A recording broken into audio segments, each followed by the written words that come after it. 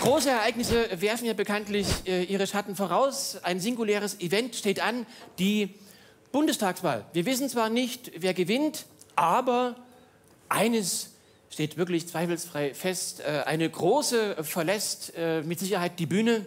Angelika Merkel, äh, also oder wie ich mal sage, Angela Merkel, sie hört auf. Und ja, man kann von ihr halten, was man will, aber man muss trotzdem sagen, die Lücke, die sie hinterlässt, die muss man erstmal finden. Und ich weiß, das ist jetzt vielleicht ein bisschen zynisch, das gebe ich zu. Nein, äh, bleiben wir sachlich. Also es ist ja wirklich eine Epoche, die sie geprägt hat. Ja, 16 Jahre, also so lange habe ich es mit einer keiner Frau ausgehalten. Und als sie in Dienst trat, ja, das war, äh, ich habe es ausgerechnet, manuell 2005. Das war quasi von heute rückbetrachtet Steinzeit. Ja, 2005, da gab es noch nicht mal ein iPhone. Da hat man sich wirklich noch mit der Schnabeltasse angerufen.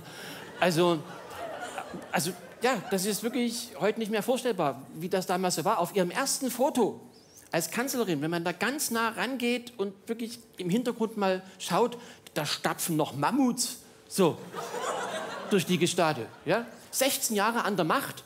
Und wenn man das mal vergleicht, ja, wie viel wird heute noch über Hitler geredet und bei dem waren es nur zwölf? ja? ja. Und Frau Merkel hinterlässt ja Deutschland insgesamt in einem wesentlich äh, besseren Zustand. Das muss man anerkennen. Und äh, viele junge Menschen, die hier sind, die können sich das gar nicht vorstellen. Ja, dass vor Frau Merkel damals, in der anderen Zeit, da war ja ein Mann Bundeskanzlerin. Und da sagen viele, hä? Also da hat sich wirklich einiges äh, entwickelt und auch äh, Frau Merkel selber hat sich da entwickelt. Das wird oft vergessen. Ja? Sie war ja nicht so plötzlich da und mit Kusshand empfangen. Nein, am Anfang, man, ja, man, man, man trieb mit ihr Hohn und Spott. Ja? Man hat immer Witze gerissen über ihre Klamotten, man hat sich so lustig gemacht über ihre Frisur. Ich habe bis heute nicht verstanden, warum. äh, ja, sie war so das, das kleine hässliche Entlein. Aber das kleine hässliche Entlein hat sich entwickelt. Es hat eine Metamorphose durchlebt, denn aus dem kleinen hässlichen Entlein wurde genau ein Schwan. Ja, ne? Also es ist kein schöner Schwan, aber einsetzbar. Ne? Ich sage mal so Nutzschwan.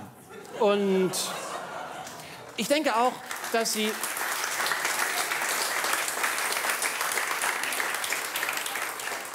Das wird ihr gut tun, ich bin mir sicher, dass ihr das seht.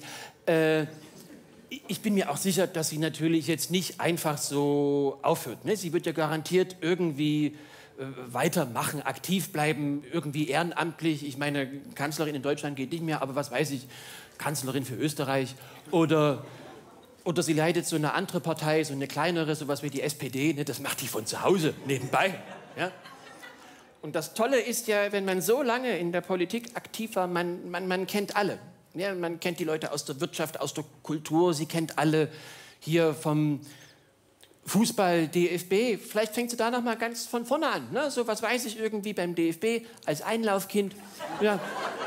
Und ja, wenn, wenn so eine Epoche zu Ende geht, muss man auch sagen, dass, also lässt selbst mich nicht kalt. Also, dass sie aufhört, das geht mir schon ans Herz.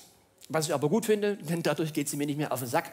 Und, und ich wünsche ihr von hier aus äh, alles Gute, eine sichere Zukunft und ja, das ist ja nicht äh, garantiert, dass das für sie eintritt, denn es gibt ja die eine hier, die, die AfD-Partei, die hat ja gesagt, ja, wir werden sie jagen und, und dann werden wir sie vielleicht auch anklagen und vor Gericht.